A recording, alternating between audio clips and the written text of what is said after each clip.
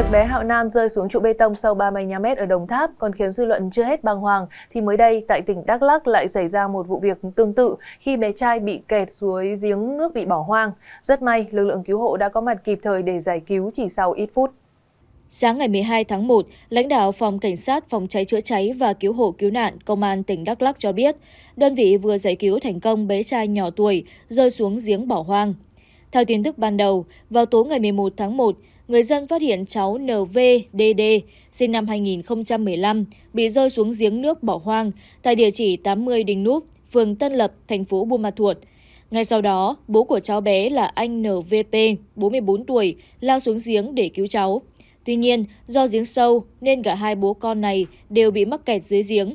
Sau khi nhận được thông tin, Phòng Cảnh sát Phòng cháy chữa cháy và Cứu nạn Cứu hộ Công an tỉnh Đắk Lắc đã cử 10 cán bộ, chiến sĩ xuống hiện trường để cứu bố con anh P.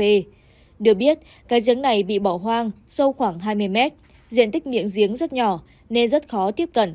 Một lãnh đạo Phòng Cảnh sát Phòng cháy chữa cháy Cứu nạn Cứu hộ cho hay, ngay sau khi tiếp cận hiện trường, lực lượng đã nhanh chóng triển khai công tác cứu nạn với tinh thần quyết tâm cao độ. Sau 7 phút, đã đưa được cháu bé và người cha lên khỏi giếng nước an toàn. Những tai nạn hy hữu xảy ra do miệng hố công trình thời gian gần đây là lời nhắc nhở cho tất cả mọi người. Hãy hết sức cẩn thận để nắp các miệng hố kỹ càng để tránh trẻ em tiếp cận lại gần.